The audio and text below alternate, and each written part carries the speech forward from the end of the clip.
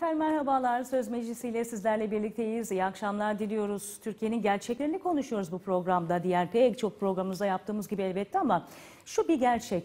Aynı zamanda bizim bir gerçekliğimiz de bu. Hafızamız çok kuvvetli değil. Bir olay yaşıyoruz, 3-5 gün konuşuyoruz. Sonrasında da o kadar gündem e, zenginliği içerisindeyiz ki tırnak içinde bir zenginlik.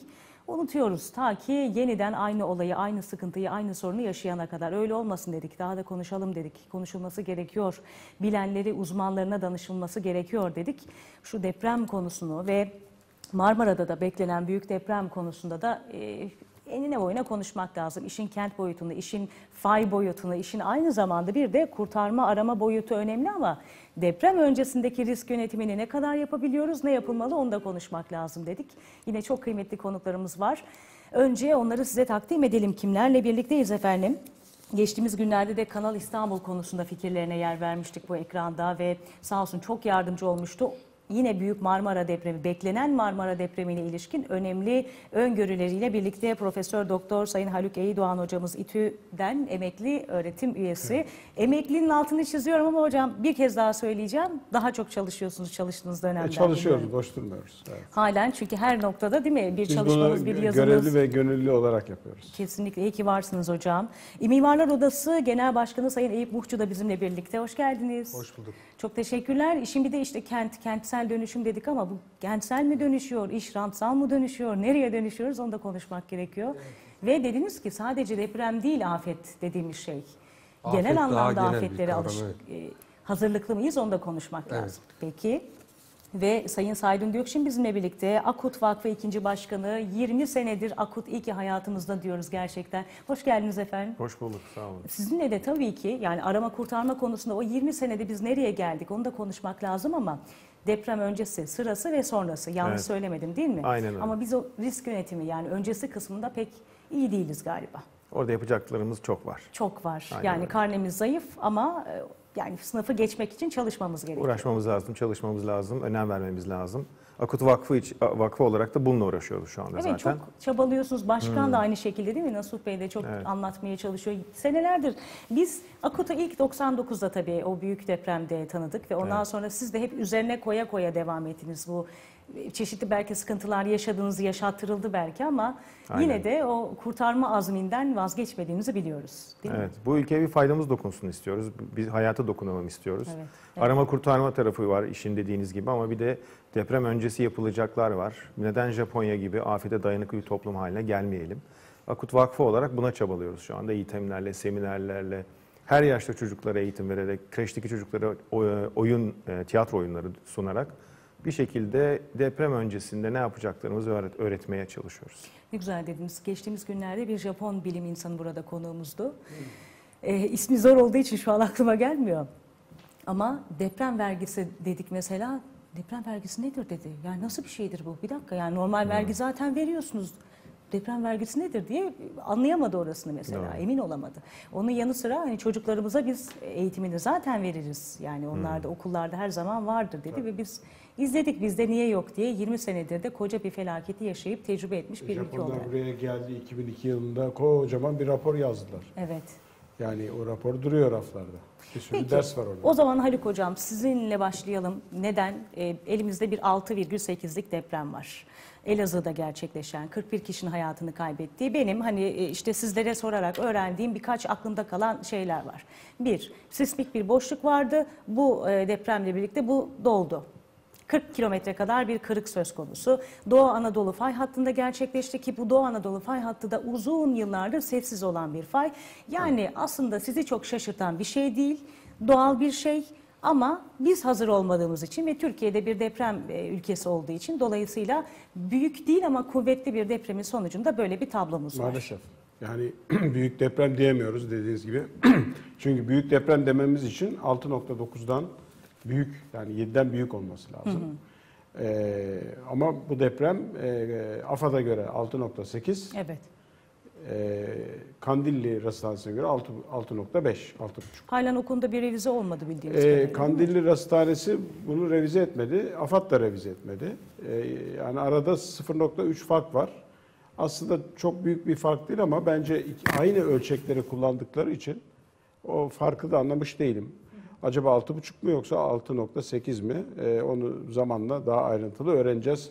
E, sismolog arkadaşlar bir sürü hesaplar yaparlar, bulurlar. Ama bu böyle küçük bir yani sadece sayısal bir farktan bahsetmiyoruz. Ciddi bir fark bu aslında değil mi Evet, hocam? yani e, önem, e, önemli olduğuna dair tartışma olabilir ama e, arazide jeolog arkadaşlarımız var, jeofizikçi arkadaşlarımız da var.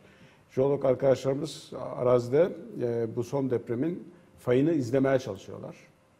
E, acaba nerede başladı, nerede bitiyor? Çünkü 6.8 Bingöl depreminde yani 1971 Bingöl depreminde 6.8'di deprem büyüklüğü. O zaman öyle rapor edilmişti.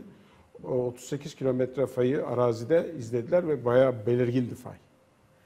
Bu depremde belirgin değil. Muhtemelen biraz daha küçük. E, çünkü bugün e, öğlenleyin e, sahada çalışan Cumhuriyet Üniversitesi'nden Sayın Orhan Tatar'la görüştüm. E, deneyimli jeologlar, jeolog arkadaşlarımızdan. E, yani bazen izleyebiliyoruz e, bir çatla, bazen kaybediyoruz falan ama çok belirgin değil dedi. Muhtemelen de depremin biraz daha yani 6.8'den küçük olabilir ya da oradaki jeolojik yapı gereği e, yeryüzüne e, ulaşması biraz zor olmuş olabilir kırığın dedi. Her neyse ancak e, kuvvetli bir deprem tabii bu. E, deprem merkezinin e, sahada yaptıkları çalışmada hala çalışıyorlar. Pütürge'ye doğru izliyorlar fayı. E, deprem merkezinin Kabala köyünde en, en büyük hasarı o, hasarın olduğu yer e, Sivrice'nin Kabala köyünde. Doğan yolun kuzey batı, kuzey e, doğusuna doğru, kuzeyine doğru. Hı hı. E, Kabala köyünü merkez gibi görmüş arkadaşlar. Yani depremin epicenter dış merkezi dediğimiz yer or- orası olabilir diyorlar. E, dolayısıyla kırık oradan başlamış ve bir, bir dolu bir kolu Sivrice'ye bir kolu da Pütürge'ye doğru yayılmış. Şimdi e, acaba bu deprem yani büyüklüğü 6,5 ya da 6,8 her neyse tartışılır. Ee, acaba bunun yarattığı yerleşimlerdeki ivme değeri nedir? İvme, ivme nedir? Ee, bizim Türkiye deprem tehlike haritasının e, çizilmesinde kullanılan değerdir o. E, bina tasarımında bir yol gösterir. İvme e, bir depremden dolayı herhangi bir uzaklıktaki yer hareketinin şiddetidir ivme. Ama cihazlarla ölçülür. Bununla, bununla ilgili işte AFAD'ın 200'e yakın 200'den belki biraz fazla iğme ölçer cihazları var. E, ve bu cihazlar depremin e, herhangi bir uzaktaki depremin iğmesini, yatay iğmesini ölçüyor ve biz acaba bizim daha önce yaptığımız deprem tehlike haritalarından bu daha mı büyük, daha mı küçük gibi bilgi sahibi oluyoruz. Daha sonraki yıllarda bunu da haritalara haritaları güncelliyoruz ve deprem tehlike haritamızı güncellemiş oluyoruz. Şimdi o veriyi alamıyoruz AFAD'dan.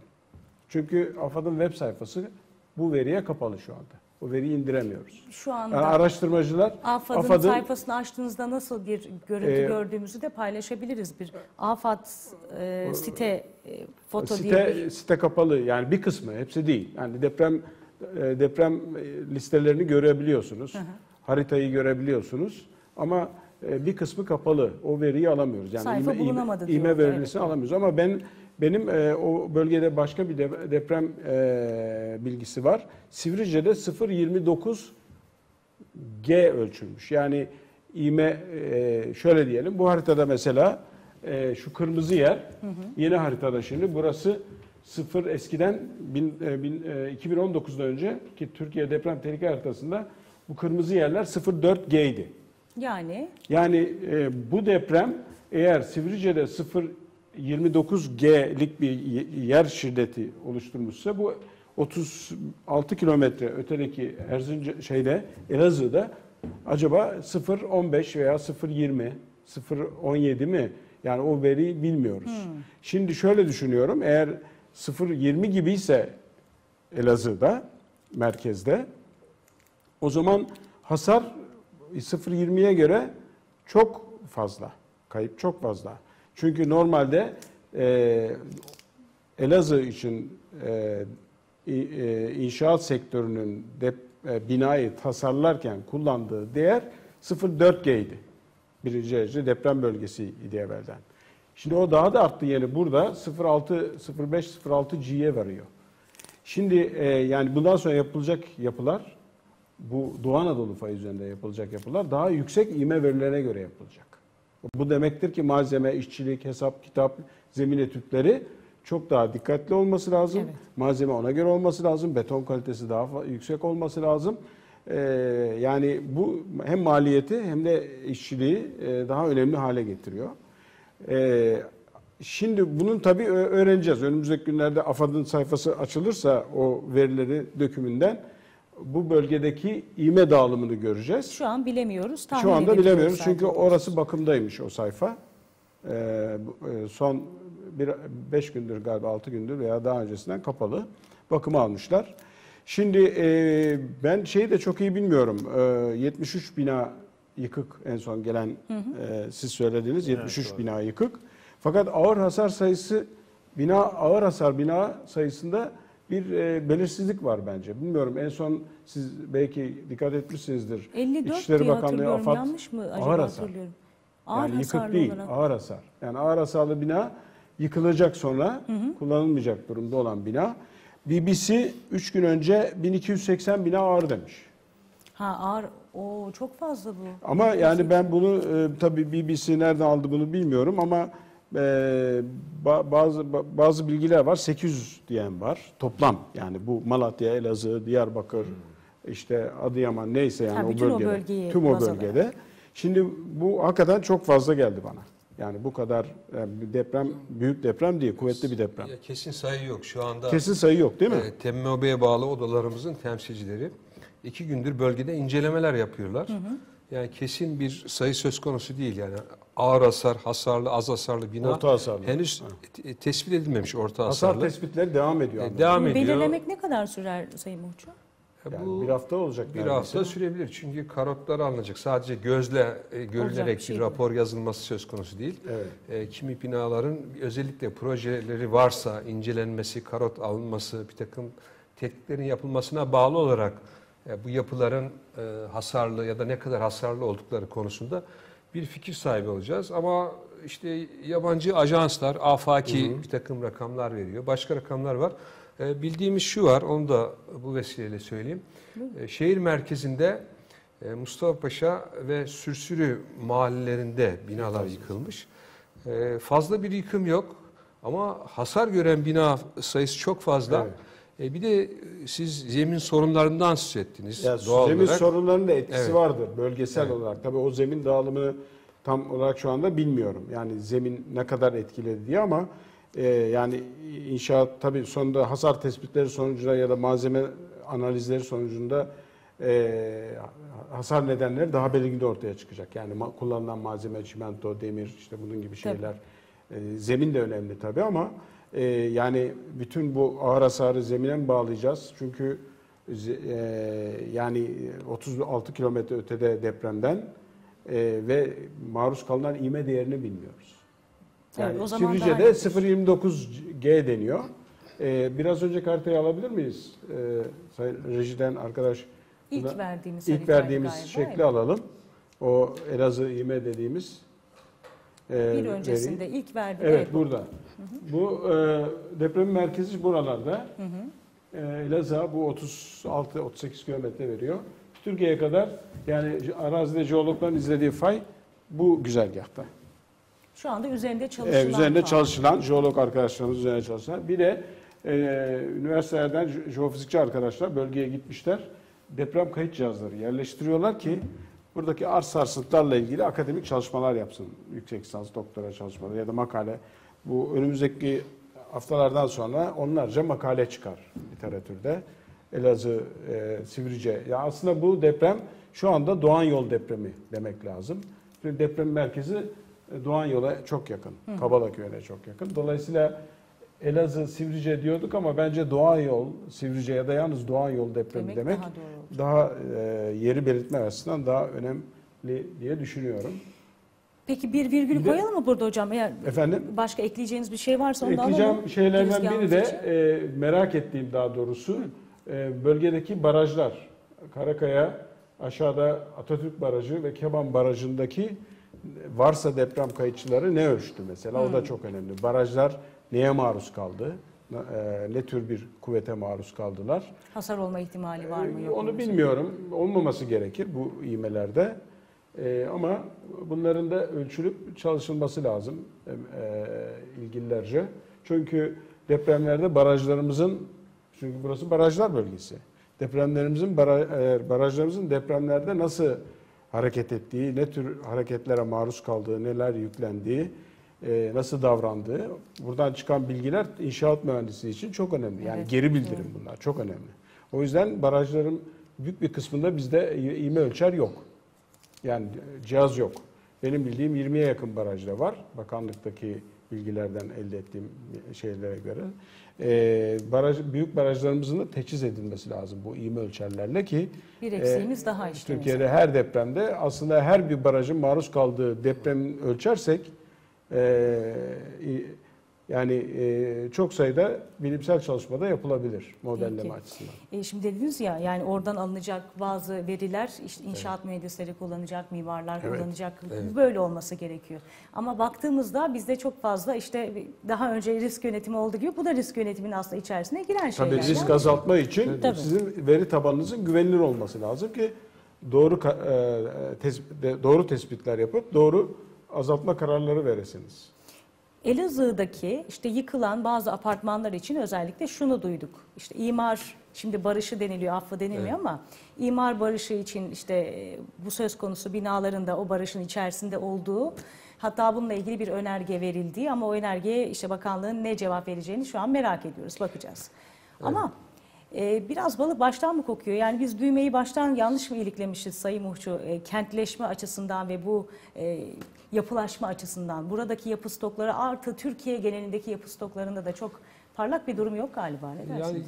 genelde zaten çok ciddi sorun var Ee, ve belki tartışacağız Ee, ama 1999 Büyük Marmara depreminden sonra depremler bizi uyarmaya devam etti. Sadece vatandaşı değil, e, yönetimleri de uyarmaya devam etti. Ama buna ilişkin atılmış çok ciddi adımlar söz konusu değil.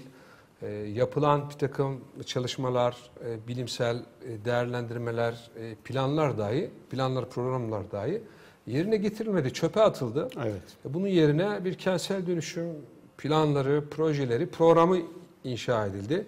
E, bu kentsel dönüşüm e, programlarının bugüne kadar bu, çer- bu kapsamda üretilen konut sayısına baktığımızda e, Türkiye'nin ihtiyacı olan konut sayısını karşılayabilecek durumda değil. E, iktidarın açıkladığı şekliyle ifade edecek olursak Türkiye'de 20 milyon üzerinde bir konut var, bina var. Bu binaların 13-14 milyonunun yenilenmesi gerekiyor. Çok büyük bir sayıdan bahsediyoruz. E, Evet, yenilenmesi gerekiyor ve hükümetin programına göre kaldı ki bu programı gerçekleştirebilecek adımları da atmış değil. 6-7 milyon yapının e, 2025-2026 yıllarına kadar tamamlanması hedefleniyor. Mümkün görünüyor. E, bu bugünkü e, konut üretim e, hızına baktığımız zaman, yapı üretim hızına baktığımız zaman sağlıklı mı değil mi onu ayrıca tartışacağız. Evet. E, bunun gerçekleşme ihtimali yok. Halbuki deprem e, çok güncel bir konu Evet. E, ve deprem her an olabilir e, ve zaman tükenmektedir. E, bir aslında seferberlik organize etmesi gerekirken e, başka şeyler yapılıyor. bir de öncelik depremi- yok. Yani Efendim? genel tespitler var da Tespitler mesela şu var, kadar bina var, şu kadar yer var ama şöyle de denebilir. Evet tamam ama önceliklerimiz de bunlar. Şurası önceliğimiz, burası önceliğimiz. Yani plan öncelik olması yok, lazım. plan yok, program yok. Evet. Ee, devletin, hükümetin bütçe programında e, depremle ilgili konular kentsel dönüşüme e, ayrılmış.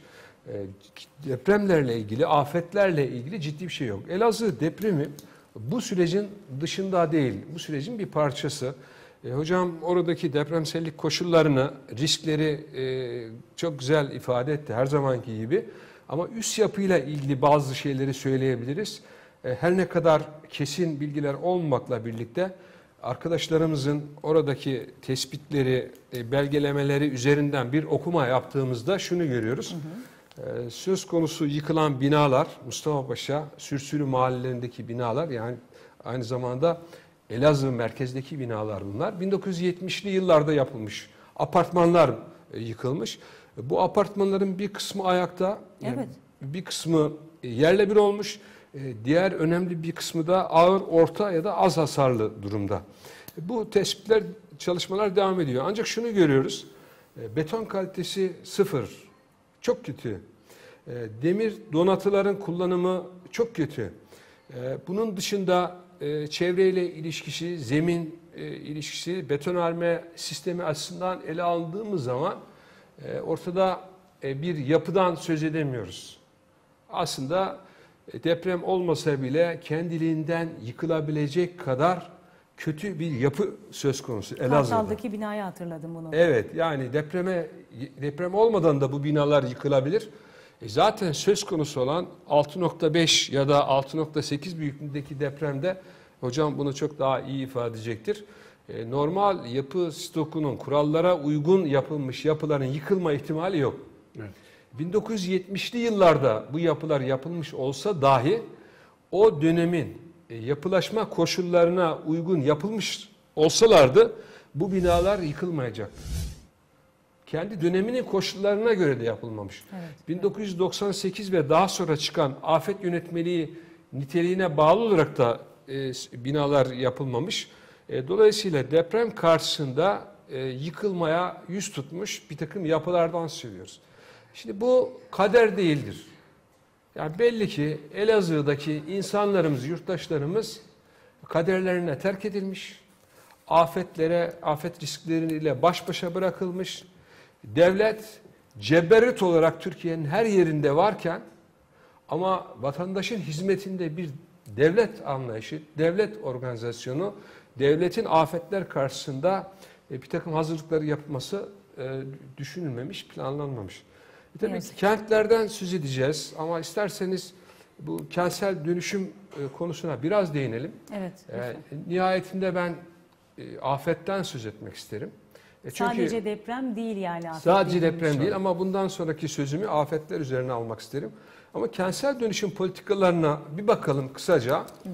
E, bugüne kadar üretilen yapı, e, konutların e, ciddi bir kamu denetimine tabi olmadan gerçekleştirildiğini biliyoruz. Yani TOKİ'nin aracılık ettiği e, 1 milyon üzerindeki konut bir kamu denetimi olmadan, herhangi bir denetim sistemi olmadan Yapı, gerçekleştirilmektedir. de, yapı denetim Bunun dışındaki sistem- yapı denetim kanununa tabi değil. değil. Bunun dışındaki üretilen konutlar ve yapılar ise 4708 sayılı yasa kapsamında, yapı denetimi kanunu kapsamında denetime tabi tutuluyorlarmış gibi gözüküyorlar. Ama e, bir kamu denetimi de söz konusu değil. Tamamen bir takım özel kuruluşların insafına terk edilmiş.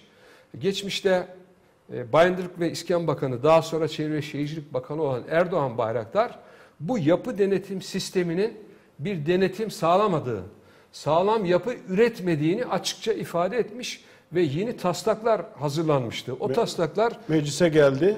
geldi. 3 sene 4 sene buharlaştı. gitti. Hem Yani yapı denetim hem buharlaştı. de imar yasası Çünkü- geldi gitti. Çünkü bir yapı denetimi istenmiyor. Yani vatandaşın sağlam, güvenli yapılarda oturmasına e, oturmasına sağlayacak yönetmeliklerin, yasaların, yapı denetim kanunu çıkması istenmiyor. Neden? Şimdi her şeyi devletten beklemeyin deniliyor ya bu aralar en çok bu cümleyi duyuyoruz. E bunu devlet yapmayacaksa vatandaş kendisi mi denetleyecek ya da kendisi mi bütün bu Devletin aşamaları gerçekleştirecek? Denetleme görevi asli görevi vardır. Değil mi? Yerel yönetimlerin denetleme asli görevidir. Bunu yerine getirmeleri mutlaka gereklidir. Ee, ancak bu neden yapılmıyor? Çünkü aslında bugün gelinen aşamada devletin, hükümetin programında insan yok. Toplumsal bir gelecek yok. Doğayla barışık, doğaya duyarlı, doğaya saygılı bir planlama, kentsel gelişim anlayışı yok. Ne var? Yapı sektörünün palazlanması, yapı sektörü üzerinden yüksek karlar elde edilmesi, bunu yaparken de kent toprağının sömürülmesi, talan edilmesi, e, yapı yasağı olan bölgelere imar verilmesi, milli parklara, tarım arazilerine, ormanlara, kıyı alanlarına yani yapı yasağı olan bölgeleri imara açmak, boğaz işini yeni imara, yeni yapılaşmalara açmak gibi bir takım şeylerle e, rant edilmesi esas amaç. Bunu yaparken de hızlı yapı yapılması, hızlı konut üretilmesi temel mesele haline gelmiş. Evet. Yani yapının sağlam ve güvenli olması değil, hızlı üretilmesi ve bu yapılar üzerinden rahat elde edilmesinin amaçlanması nedeniyle e, bugün güvenli yaşam çevrelerinin oluşturma ihtimali söz konusu değildir. İşte bu kentsel dönüşüm politikalarıyla yapılıyor. Kentsel dönüşüm politikalarının geldiği noktada bu politikalar çökmüştür, iflas etmiştir. O nedenle de kentsel dönüşüm politikalarını, projelerini çöpe atmak ve önümüze bakmamız gerekiyor. Yani doğru düzgün politikalar artık oluşturmamız gerekiyor. Kesinlikle. Şimdi, çünkü öyle bir dediniz ki güvenliği yok bunun hiçbir şekilde. E, insanı yaşat ki devlet yaşasın diye bir söylemimiz vardır bizim. Bu da dolayısıyla hani çöpe gidiyor gibi bir durum var. Şimdi bu noktada böyle bir halimiz, böyle bir fotoğrafımız var. İşte bir deprem gerçeğimiz var ama bu gerçeğin göz ardı edildiği bir yapılaşma söz konusu ve gelinen noktada belki de işte bu Elazığ'da hiç böyle bir e, fotoğraf oluşmayabilecekken meydana gelen durum. Şimdi Elazığ özelinden alıp genele gidelim o zaman Saydun Bey sizinle. Bir arama kurtarma konusundaki uzman bir isim olarak da aynı zamanda. Elazığ'da aslında bu kadar cana mal olmayabilirdi bu durum diyor musunuz? Zaten ilk bir kelime laf var yani deprem öldürmez bina öldürür diye. Evet. Zaten bunun ne kadar gerçek olduğunu burada bir daha görüyoruz. Yani binamız sağlamsa aynen demin e, söylediğim gibi Japonya'daki gibi afete dayanıklı bir toplum yaratabiliriz. Orada 8-9 şiddetinde olduğunda bile insanlar evlerinden dışarı çıkmıyorlar. Hiçbir şey olmamış gibi davranıyorlar. Çünkü binanın temelini yaparken, üstüne oturttuğu toprağı seçerken, alanı seçerken, bina tipini seçerken hep bu depremi göz önünde tutarak yapıyor. Dolayısıyla Hatta hatırlıyorum 2011'deki o büyük deprem ve daha doğrusu tsunami felaketi e, bile şaşırtmıştı bir de e, Japonya'da nasıl olabilir ki böyle bir şey? Bu bile e, bütün dünyanın şaşkınlıkla izlediği bir olaydı. Evet, o orada kadar tabii hazır bir ülke. daha önce denenmemiş, hesaplanmamış bir senaryo Evet, oldu. Yani evet. deniz kenarındaki olan e, nükleer santralin üç ayrı önlemi olmasına rağmen sistemlerin çalışmaması santral, aynen öyle. Yani bataryalar, jeneratörler falan bunların hepsinin su altına kalması düşünülmemiş, planlanmamıştı. E, şimdi e, ülkemizde duyduğumu çok üzülüyorum tabii. Yani kentsel dönüşümde e, rant politikasının önde olması çok üzücü. Evet. Ki e, birçok başka programlara da katıldığımda hani e, gerçekten parasal değeri yüksek yerlerin kentsel dönüşüme uğradığını, asıl gerekli yerlerin uğramadığını, yapılmadığını binaların gö- e, gördük. E, ama işte biz de hani afete dayanıklı toplum mantığında şu da var. Yani siz ne kadar in- insana depremi, acil durumu, afeti e, akıllı tutarsanız ki biz şu anda ağırlıklı olarak öğrencilerle başladık. Bunun sebebi de şu. e, bir öğrenci bir kere öğrenciye bir şey vermek çok daha kolay. Sonuçta onlar öğrenme noktasında. Biz öğrendiğimizi kullanma noktasındayız. Evet. Onlara bir şey öğretmek çok daha kolay. Bir de onlar eve gittiklerinde anlatıyorlar. Dolayısıyla siz bir öğrenciye öğrettiğinizde evdeki ev halkına da bir kısım bazı bilgileri veriyorsunuz. İşte ben bugün okulda bunu gördüm, bak bu da varmış, şu da varmış diye. Ee, öğrenciler bu konuda çok hakikaten aklı selim e, bir durumda ve e, tekrar edilen eğitimlerde, öğretimlerde görüyoruz ki birçok şey akılda da kalmış. Bize de hani biz soru soruyoruz eğitim sırasında. Ne yaparsınız diye onlar cevap veriyorlar. E, bu bakımdan hani öğrenciler üzerinden e, çalışmak tabii ki bu yıllara sarih bir durum. Yani o öğrenciler bir gün mimar olacaklar, müteahhit olacaklar, mühendis olacaklar. Tabii. Ve akıllarının bir tarafında yaptıkları işte bir afet bilincini bilerek o kalemi eline alacak. Yani o çimentonun formülasyonunu yaparken işte kumu suyu fazla, e, çimentosu az yapmayacak. De- demir 10 olacaksa 10 olacak, 8 6 olmayacak. Çünkü biz enkazlarda bunları çok net gördük. Yani ben enkazın bir tanesinde katı e, kırdığımı zannederken toprağı kırdığımı gördüm. Yani yan yana dökülmüş bütün saçılmış bina. Dolayısıyla kestiremiyorsunuz hangi katta olduğunuzu. Bir alt katı açmak için uğraştığımda aslında benim bahçeye geldiğim ama sırada da beton tozundan dolayı yer gri Fark ve ben edilmiyor. betonu kırma şeyim var yani bir alışkanlığım var. Toprağa geldiğimde aynı gücü hissediyorum. Ne kadar betonun yumuşak olduğunu gösteriyor. Evet, evet. Evet, enkazda kırması kolay bir beton ama keşke öyle kırması kolay bir beton olmasaydı da o bina yıkılmasaydı. Burada Elazığ'daki depreme baktığımız zaman Saydun Bey yani 72 binadan bahsediyoruz ama 3000'den fazla kurtarıcının o noktaya Evet, gittiğini 3700. işte çevre illerden, büyük şehirlerden kurtarma ekiplerinin gittiğini görüyoruz. Bu sayı yani yıkılan bina sayısıyla kurtarıcı sayısına baktığımız zaman biraz denge sorunu var mı burada? Nasıl bir fotoğraf var? Evet ama şimdi şöyle de, şöyle bakalım isterseniz. Bir deprem olduğu zaman bölgeden haber gelmiyorsa bizim için iki tane sebebi vardır. Ya depremin yarattığı hasar çok küçüktür veya çok büyüktür. Küçüktür dolayısıyla haber gelmiyordur. Çok büyüktür iletişim hatları bile kopmuştur. Şimdi tabii ilk zamanda iletişimden bir, bir- yani bir bilgi gelmediği için refleks olarak herkes çok büyük bir deprem olduğunu düşündü. Evet. Ve e, oraya öncü birliği yollamadan, oradaki arkadaşlara orada bir iletişim kurmadan herkes yola çıktı. Dolayısıyla e, 3700'e yakın arama kurtarmacı oraya gitti. Dolayısıyla bir nebze tabii kaynak israfı oldu. O kadar insanı afet bölgesine... Yani o depremin büyüklüğü ve belli yerlere uzaklığı konusunda hızlı bir bilgi gelmedi mi? Gelmedi hayır. İlk önce çok büyük hasar çok var önemli. dendi. Yani- Binlerce evin yıkıldığı söylendi. Binlerce binanın Yani, yıkıldığı söylendi. Ee, Türkiye'de bu bu depremin yerini hızla belir- büyüklüğünü ve yerini hızla belirleyen ve belli illere uzaklığını hızla belirleyen teşkilatımız var. Daha hızlı davranması gerekiyor anladığım kadarıyla. Yani o da Ya şimdi evet ama e, tabii sosyal medya konsepti inanılmaz e, iyi ve kötü tarafları olan Evet. bir şey. Sosyal medya çok hızlı çalışan bir şey ama dezenformasyona çok müsait bir alan. Dolayısıyla orada eski deprem e, fotoğrafları, eski deprem videoları Videolar, paylaşılıp burası e, felaket durumda haberleri geliyor. Çok oldu, o Ee, gece oldu evet. Ankara'da tabii aslında bölgeye yakın ekipleri var dediğiniz gibi. Onların gidip aslında her kurum kendi adamından haber haber almak ister. Doğrusu odur. Çünkü eğitmişsinizdir. Onun gözü neyi görüyorsa size söylediği dil aynıdır. Yani size vereceği bil- bilgi doğrudur ama başka yerden alacağınız Şüphe. abartılı bilgi Evet. tabii sizi yanlışa götürür. Bir de e, devletimiz tabii şu anda o reaksiyonda şöyle bir reaksiyonu var. Bir şey olduğu zaman aşırı güçlü oraya geleyim, orada olayım, zayıf kalmayayım, geride kalmayayım, sorun olmasın. Ama bu tabii kaynak israfına sebep oluyor. Çünkü onlarca uçak gidiyor, bir sürü personel gidiyor. 3700 kişi. Devletin öncelikle doğru bilgilenmesi. Aynen öyle. Evet. Onu sağlayacak yapıyı kurması gerekiyor. O yapı aslında var. Yani normalde uluslararası merkezler bile yani 2-3 dakika içinde e, yayınlarına bunu koyuyorlar. Yani yani sistem artık e, çok hızlı çalışıyor. Peki E, burada o yapı var dediğimiz yapı tam olarak ay, hangisi? AFAD'dan mı ya, bahsediyoruz mesela? AFAD'ın AFAD'ın ayrı bir e, ulusal ağı var. Yani zaten AFAD e, 2009'daki çıkan kanun gereği Evet. Türkiye'deki depremlerle ilgili çalışmaların yani en azından bu bilgileri elde edip halka ve ilgililere Sunuldu. vermekle görevli. Onun 200'e yakın deprem istasyonu var. Bu bilgiyi hemen alıp değerlendiriyor.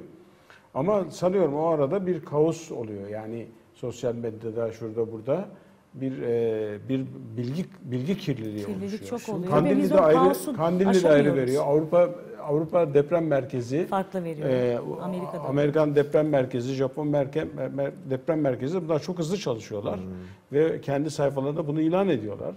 Dolayısıyla bu yani bu bilgilenmenin aksaması konusunu anlayam- anlamış değilim. Bu biraz şeyden kaynaklanıyor. Şimdi sonuçta bir liyakatla gelinen yani bir bilgi birikimiyle bir pozisyona gelirseniz Evet. o pozisyonun hakkını verirsiniz. Ama oraya o pozisyona başka bir yerden gelmişseniz dolayısıyla çok hakim değilsiniz konuya. Bizim Dolayısıyla temel laf işitmemek. sorunumuz zaten. Bir başka gerçekliğimiz de liyakat Aynen sorunu. öyle. Dolayısıyla ben depremi öğrenir öğrenmez hemen e, bu 3-4 merkezin bilgilerine baktım. Hemen bir harita yapıp e, sayfa e, Twitter'a ve Facebook sayfama koydum. E, ve o merkez alarak etraftaki ilçelere ve illere baktım ve yazdım Twitter'da. Şu şu şu şu ilçeler. Doğan Yol mesela orada adı geçer. Evet. Ya da Sivrice Yayınımızda işte. da söylediniz hocam. Evet o yani evet. bunu e, bizim meslektaşlar da yapabilir tabii ama tabii esas önemli olan resmi merkezin bunu en hızlı Evet. şekilde sosyal medya dahil e, koyması. Bildiğim kadarıyla AFAD'ın Twitter sayfası Var. var. var. Dolayısıyla yani orada bir e, ilk başta bir sağlıklı bilginin gelmemesinden dolayı yanlış yapmama adına fazla arama kurtarmacı gönderildi ki e, AFAD'ın şemsiyesinin altında STK'lar da çalışıyor. Dolayısıyla birçok STK, Akut Derneği gibi onlar da bölgeye gittiler. E, çok kısa zamanda da geri geldiler. Böyle anlarda koordine olmak çok kolay mıdır mesela atıyorum İstanbul'dan giden bir ekip orada Hmm. işte AFAD'ın ekibi var belki başka bir ekip daha gelmiş. O anda nasıl hızlıca karar verilir Saydın Bey? Yani Bunun nasıl zaten bir hazırlığı sizde vardır. Yani normalde dünya şartlarında yani şimdi Akut Derneği e, Birleşmiş Milletler'in İnsarak'ta afet gücünün bir parçası. 6 saat içinde hareket etmek durumunda. Dolayısıyla siz bütün organizasyonu da ona göre yaparsınız. Yani, ve hani personelinize nasıl, gönlünüze nasıl ulaşacaksınız, lojistik depodan malzeme nasıl hızlı çıkacak, hangi araçlara yüklenecek, hangi e, yolla, hangi ulaşım noktasına ulaşacak. Mesela burada uçak kullanıldı. Dolayısıyla işte yeni havalimanına hemen ulaşıldı. Evet. Yeni- yollarımız zaten müsait buna. Üçüncü yoldan çok rahat bir şekilde gidebiliyorsunuz. Dolayısıyla 5-6 saat içinde uçağa binebilir hale gelebiliyorsunuz. Yurt dışında tabii artı uçak mesafesi var. Evet. Elazığ biraz daha kolaydı bu bakımdan. Ve o noktaya vardığınızda Kendi kampınızı kuruyorsunuz. Ee, kriz merkezine ben gel- geldim diyorsunuz. Bu kadar manifestonuzu veriyorsunuz. Yanımda benim bu kadar eşya var. Bu kadar arama köpeği var. Arama ekibimin sayısı bu. Kurtarma ekibimin sayısı bu. Totalde bu kadar kişiyim ve bana bir yer göster. Ben orada kampımı kurayım diyorsunuz. kriz merkezinin doğru kurulmuş olması o zaman önemli. Evet, yani kriz merkezi olması. kriz merkezi noktasında bayağı bir deneyimi var aslında AFAD'ın. Ee, Birçok merke birçok senaryosundan ve e, aktif olduğu için. Yalnız duyum bu. Yani emin değilim ama e, bu depremde biraz sıkıntı olduğunu duydum ki e, bu çok can sıkıcı bir şey. 73 enkaz için eğer sıkıntı yaşıyorsanız İstanbul gibi bir depremde kriz merkezi ne yapacak çok merak ediyorum. Bu Evet, 73'te herhangi bir şekilde sıkıntı olmamalıydı. Evet. 73'te 3700 kişiyi de çağırmamalıydınız. Ee, hadi orası oldu, Ankara yolladı. Yani çok hızlı hareket etti, çok hızlı aktive oldu. Ama krizi doğru yönetmek, kriz merkezini doğru yönetmesi gerekiyor. Bu noktadaki bu sıkıntı da Şimdi aslında ders uydu, uydu teknolojisi, teknolojileri yani e, yalnız fotoğraf çekmiyor. Ye- Gece gündüz uzaktan algılamayla e, ve radar fotoğraflarıyla çok hızlı tarama yapılıp bölgede uydudan e, deprem öncesi fotoğraflar var. Deprem sonrasında çekiliyor radar fotoğrafları. Çok hassas onlar. Teknoloji çok gelişti tabii savunma teknolojisi aynı zamanda. Üst üste oturup Üst üste bakalım. oturttuğunuz zaman nerelerde yıkık görüyorsunuz. Yani AFAD'ın içinde böyle bir birim var mı bilmiyorum. Çünkü artık fotoğraf gece de çekiliyor. Çünkü radar fotoğrafı radarla tarama yapıyorsunuz. Yani bir, bir türlü tomografi yapıyorsunuz öyle diyelim uzaydan. Ee, dolayısıyla teknolojiyi de bu maksatla hızla kullanmak lazım. Kaldı ki oradaki ivme ölçerlerle de e, maruz kalınan ivmeler hakkında bilgi ediniyorsanız en azından yıkım hakkında da bir şeyiniz olur. Benim bilginiz olur. anladığım arama kurtarmada da yani 20 sene 17 Ağustos bu konuda hep bir milat herhalde. Evet, aynen öyle. Orada da aslında çok önemli bir yol kat edilmiş arama kurtarma konusunda. Bilim işte görme, tahmin etme vesaire haritaları ya da yaşananları daha net okuma konusunda bilim de çok yol kat etmiş. Evet. Ama yol kat edilmeyen tek konu galiba şu binalar, yapı stoklarının durumu ve gittikçe de daha mı kötüye gitmişiz galiba? Bize hep şu söylendi çünkü işte 20 e, sene içerisinde yapılmış olan binalarda çok da büyük bir sıkıntı olmayabilir. Çünkü öncekilerin e, yönetmelikleri farklıydı. Şimdi depremden sonra yapıldığı için biraz daha belki güvenli sayılabilir. Öyle midir? Doğru bir ifade midir? Yalnız birinci konuda itirazım var benim. Yani kurtarma çalışmalarının ilkel bir şekilde yapıldığını ben düşünüyorum. Evet bu konuda yetişmiş ekipler var. Kurtarma çalışmalarını çok profesyonelce, can siparişi yapabiliyorlar. Evet gelişmiş özellikle akut ve benzeri Evet. kuruluşların çok büyük desteği var. Halk bu konuda biraz daha bilinçli. E, ama şunu görüyoruz bakın e, deprem olmuş Elazığ'da işte Cumhurbaşkanı'ndan ilgili ilgisiz bakanlara kadar biz olayla ilgileniyoruz gibi bir, bir provokatif bir şeye dönüşüyor bu süreç. E, bu provokatif bir sürecin ötesinde e, birincisi bu, ikincisi Bu, bu, E, bu kadar ye- kitle orada olursa- yerel bürokrasiyi de meşgul ediyor. tabii ki o kadar yerel bürokrasi et- etkiliyor onu söyleyeceğim. Onlar çalışamıyorlar. Yani Ee, yerel bürokrasi alandaki- gelenleri karşılamaktan. Hayır, alana e, alana kurtarma ekiplerinin ulaşması daha e, yavaş olabiliyor çünkü yollar kapatılıyor. E, birkaç bin tane koruma araçları, şunlar bunlar. E, asıl ekipler yerine ulaşamıyor. E, bir başka husus, e, bakıyorsunuz e, kurtarma çalışmaları sırasında e, enkazın üstünde onlarca, yüzlerce insan birikmiş. E, halbuki kurtarmayı yapacak olan ekip bellidir. Oradaki olayın özgün koşullarına bağlı olarak nasıl kurtarma çalışmasının yürütüleceği başka bir şeydir. Ama herkes enkazın üstünde. Belki o enkazın üstündeki insanlar aşağıda hala canlı olan yurttaşlarımızın üzerinde tepinmediklerini bilemiyoruz. E, Dolayısıyla ben şunu iddia ediyorum. Bazı şeyler var ama o ilkel e, davranış biçimi aynen devam etmektedir.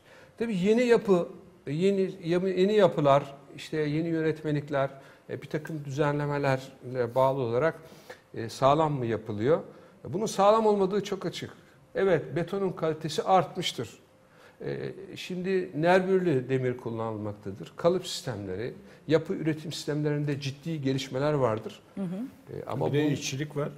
e, tabii ki e, yani mühendislik aslında var.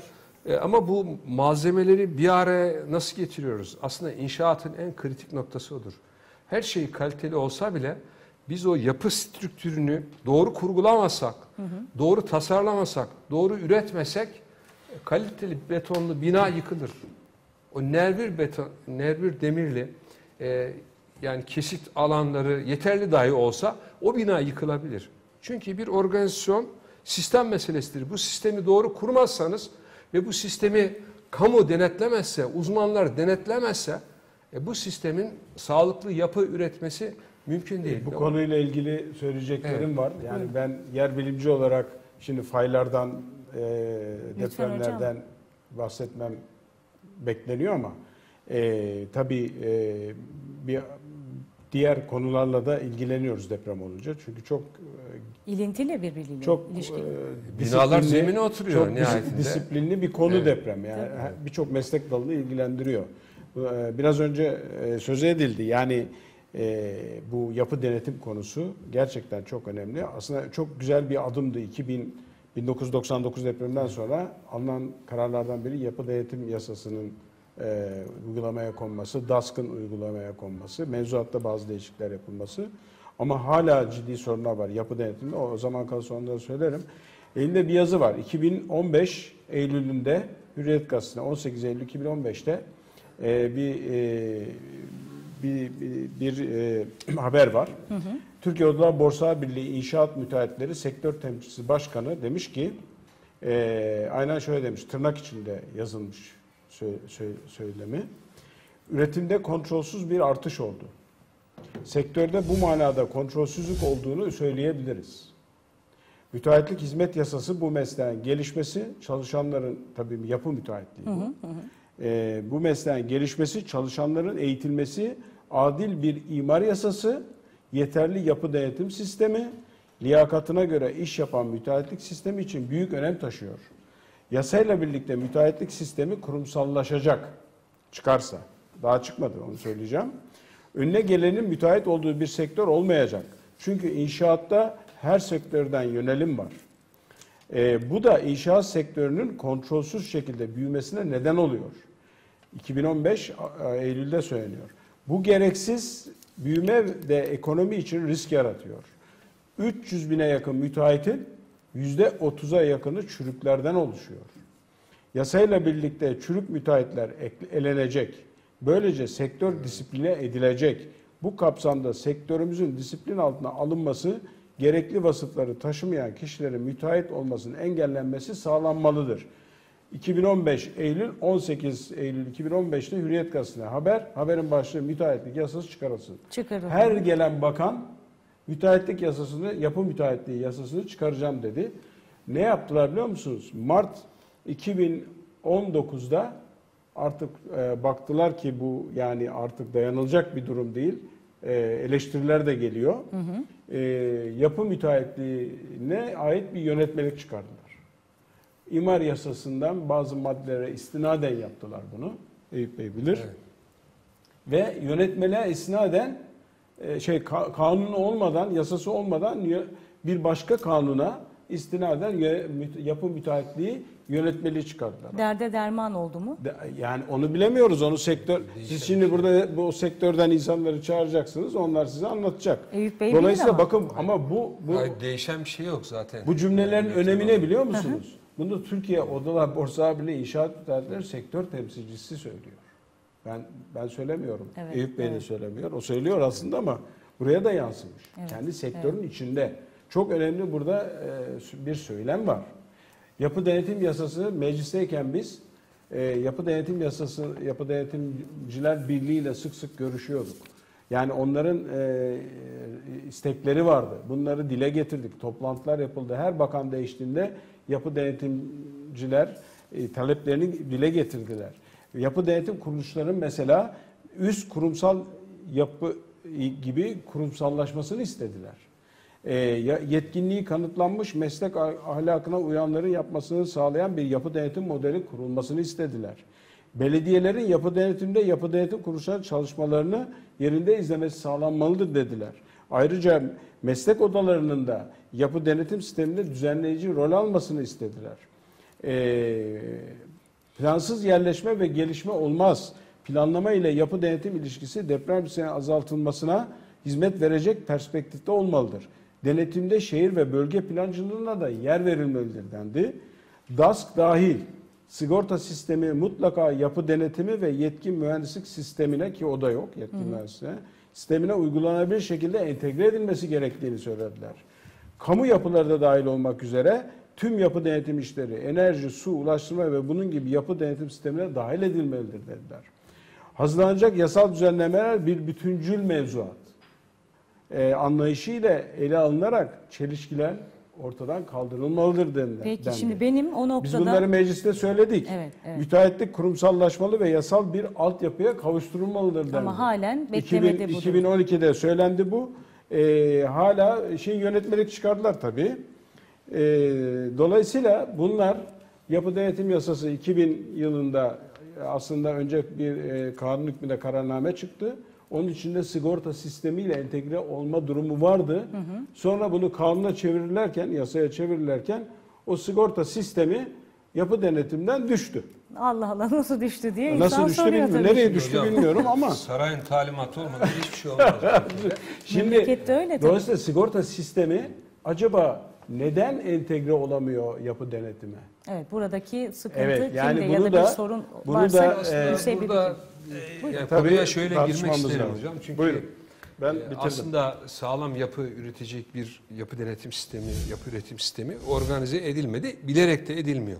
Yani çünkü amaç başka. Bu daha Ama güzel, burada şunları e, söylemekte fayda var. Bina sağlam bile olsa e, binanın zeminle ilişkisi belirsiz. Örneğin devasa binalar İstanbul'da gökdelenler Evet. e, o zemin üzerinde e, zeminle ilişkisi nedir? Ya bunu bilen yok. E, tamamen e, bir depremde test edilecek meseleler bunlar. Halbuki tonlarca yük, Kazık çakıyorlar. binlerce ton yük o zemine Çamura- yapılıyor. çamura Peki kazık çakıyor. her zeminde bina yapılabilir mi? Hayır yapılamaz. Evet bir takım astronomik rakamlar e, harcanarak temel e, düzenlemesi vesaire yapılabilir. E, bir takım binalar yapılabilir. Ama biliyoruz ki e, bu bedeller ödenmiyor ve o binalar oraya yapılıyor. Şimdi burada şuna bakıyoruz. Aslında e, kentin planlarını yaparken bütüncül bir planlama gerektir. Evet. Kent ve kırsalın birlikte ele alınması bir. İkincisi planlama yaparken mutlaka planlarda afet girdisi olması lazım. Afet girdisi derken dolgu alanını imara açmayacaksınız. Tarım alanını imara açmayacaksınız. Dere yatağını imara açmayacaksınız. Çürük zeminli yerleri açmayacaksınız. Peki nasıl açılıyor? Bilimsel verilere göre, yönetmeliğimize, anayasa ve kanun mevzuata göre bunları açmak mümkün değil. E Çünkü anayasada der ki devlet vatandaşın sağlıklı, güvenli çevrede yaşama hakkını sağlar. Bunun için önlem alır. Ama aynı hükümet, devleti temsil eden hükümet e, zayıf zeminlerde bina yapılmasını sağlıyor. Bunu yaparken de ayrıcalıklı imar izni veriyor. Milyarlarca rant söz konusu oluyor. Hem de yerel yönetimin görüşünü almadan. Tabii ki Hiçbir almadan. Çevre Şehircilik Bakanlığı İşin içinde ve değil yani. TOKİ yetkileri var. İsterlerse istedikleri yeri imara açabiliyor. Ama Adapazarı'nda yani Binlerce depreminde şöyle bir şey oldu. Belediye kar- kararıyla fayın yerini değiştirdiler. Evet. Fayın yeri Tabii fayın yerini, yerini değiştirip imara açtılar. O Yani zaman belediyeler da daha var. güçlüydü. Burada bir şeye Gerçekten vurgu yapmak lazım. Tabii ki burada afete karşı önlem alacaksanız bütün kurumların koordineli çalışması lazım. Bir kere afet politikası olması gerekiyor. Türkiye'nin afet politikası yok. Bugün depremi tartışıyoruz. Yarın bir yerde sel olacak onu tartışacağız. Örneğin Karadeniz'de sel vardı. Diyorum ya işte Eylem 2-3 var. gün E, konuşuyoruz ve Canik'te bitiyor. e, TOKİ'nin yaptığı konutları su bastı. Yer seçimi yanlışlığı ve Evet, planlama, tasarım hatası nedeniyle 13 tane yurttaşımızı kaybettik, onu tartıştık. Ayamava deresi, vadisi üzerine e, bugünkü hükümetin yaptığı planlarla, aldığı kararlarla e, binlerce bina, AVM, rezidans, konutlar yapıldı. Bunlardan dolayı bir yağmur sele dönüştü. 31 yurttaşımızı kaybettik. bunları tartıştık. Bakın bunları hatırlıyor muyuz?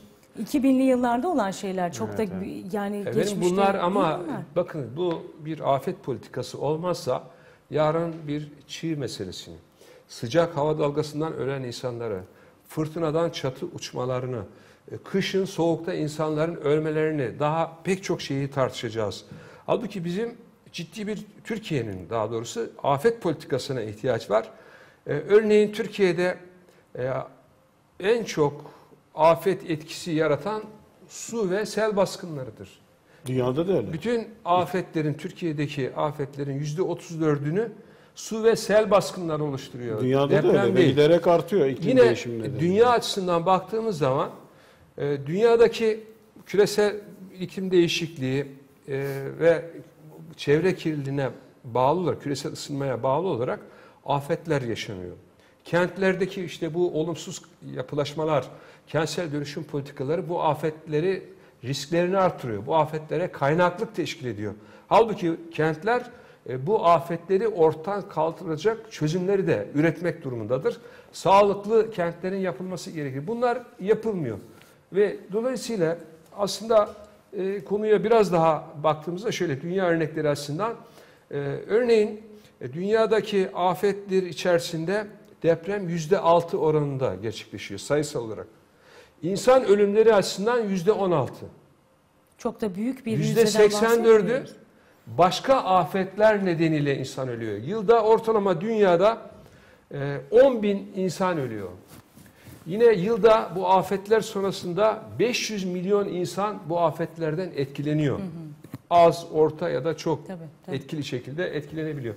Şimdi Türkiye'ye baktığımızda ise e, afet riskleri açısından dünyada 12. sıradayız. Ekonomide, Tüm- teknolojide, sanayide, başka Doğru, yerlerde son tüm- sıralardayız ama Evet. e, Risk konusunda. afet riskleri bakımından e, dünyada 12. sıradayız. Afet risklerinin artışı, özellikle bu son dönemdeki iktidarın uyguladığı kentsel dönüşme, dönüşüm politikaları da dikkate alınarak bakıldığında dünyada 10. sıradayız. Yükseldik. Yani afet risklerinin artışı bakımından dünyada 10. 10. sıradayız. Şimdi bir başka veri de şudur, önemlidir. Afet riskleri ölümlere baktığımız zaman, daha doğrusu ölümlere baktığımız zaman, afetlere bağlı ölümlere, e, varlıklı gelişmiş ülkelerdeki ölümler e, şeye yoksul az gelişmiş ülkelere göre ölümlere göre çok daha azdır. Yoksul az gelişmiş ülkelerdeki Asya'daki, Orta Doğu'daki afetlerde ölen insanların sayısı gelişmiş ülkelerdeki afetlerde ölen insanların sayısının 3 katıdır. çok fazla. Dolayısıyla Plansız yoksullar afet karşısında daha çaresizdir. E burada şunu görüyoruz. Demek ki gelişmiş ülkeler bir takım önlemler alarak sadece afet sırasında değil, afet öncesi hazırlıklarını sağlıklı, planlı, programlı yaparak insan ölümlerini sıfırlayamıyor, kaldıramıyor ama bunları minimize edebilir. Riskleri azaltabiliriz. Bununla ilgili bir bakış açısına ihtiyaç var. Bu bakış açısı güvenli kentlerin oluşturulması, güvenli kent ve kentlerin gelişmesi politikalarının ortaya konması gerekir. Bugünkü kentsel dönüşüm politikası değil. Yani rant amaçlı kentleşme politikaları değil. Bunun yerine kentlerin risklerini azaltmak gerekir. Bugün yanlış yatırım kararları, yapı üretim sürecinin sorunları, daha pek çok nedenle e, kentler e, çok risklerle yüklenmişlerdir. Sadece depremin riski yok. Depremin tabii. riskleri, stresi çoğalmıyor. E, Kentlerin de stresi çoğalmış. Hava kirlilik hava kirliliği Hem üzerine çok fiziki olarak- bir de hem Kanal İstanbul'dan olarak- bahsetmeye kalkarsak. Hem sosyal hem risk kültürel riskleri olarak. risk. İşte bunun için e, ke- öncelikli konu kentlerin güvenli kent haline getirebilmesi Evet. için kentin risklerinin azaltılmasıdır. Temel Evet. mesele budur. Bunu yaparsak, bu Şimdi politikayı belirlersek Araya gireyim çünkü dediğiniz çok güzel bir konu Evet, buyurun. riskle ilgili. Ee, sizi destekleyecek. Şimdi riskle maliyet ters orantılı. Yani sıfır riskte ve maliyete baktığınızda Risk artıyor, maliyet düşüyor gibi gözüküyor. Şimdi şöyle, ne kadar çok harcarsanız o kadar riski azaltırsınız. Evet. Harcamazsanız riskiniz maksimum olur, çok harcarsanız riski azaltırsınız. Bu ikisinin kesiştiği nokta ise optimum noktadır. Yani risk, başta konuşmanın başında dedik ya, risk analizi yaparsın, risklerini belirlersin. Sonra dersin ki benim önceliklerimdeki ilk 5 sıradaki ilk 5 riski alırım, bunları minimize ederim. Sıfırlayamazsınız. Gelişmiş ülkeler sıfırlayamıyor sonuçta. Mümkün olan bir şey değil bu. Azaltırsınız, evet. Ve onun içinde bir para harcarsınız. Anormal bir para harcayarak çok daha aşağı indirirsiniz ama o optimal bir şey değildir. Yani bu şirketler için böyledir, ev için böyledir, ülkeler için böyledir. Dolayısıyla riskle maliyet ters orantılı. Bir para harcamanız lazım ki riski azaltabilin diye ama onun öncesinde risk analizi yapın. Dediğiniz çok doğru. Ee, 2000 yani her 10 yılda bir arama kurtarma ekiplerin bir araya geldiği toplantılar yapılır. Bu toplantılarda bir sonraki 10 yılda ne tip felaketlerle karşılaşacağımızı görüşürüz. Biz aslında bir sonraki 10 yılda ne olacağını biliriz. Niye bilmek zorundayız? Çünkü arama kurtarma ekipleri olarak onunla ilgili eğitimler almamız lazım, onunla ilgili malzeme almamız lazım. Tam da bu noktada virgülü koyalım. Neler yapılıyor, tatbikatlar vesaire onlarla başlayalım ikinci Olur. kısma. Bir Olur. kısa ara vereceğiz ardından buradayız.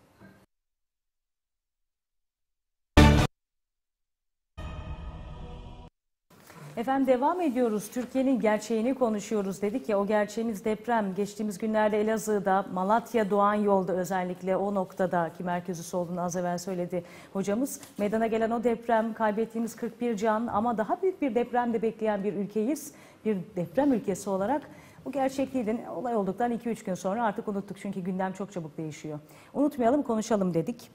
Az evvel de tam da arama kurtarma ekipleri ne yapmakta, nasıl e, hazırlanmakta, risk yönetimi konusunda onlar üzerine düşenler konusunda ne durumdalar diye konuşuyorduk. Sayın Akut Vakfı'nın ikinci başkanı Saydın Gökşin'le e, hemen virgül koyduğu yerden devam etsin buyursunlar. Evet dediğim gibi her 10 yılda bir bir araya geliniyor. İşte 2010'da COBİ'de e, bir araya gelindi.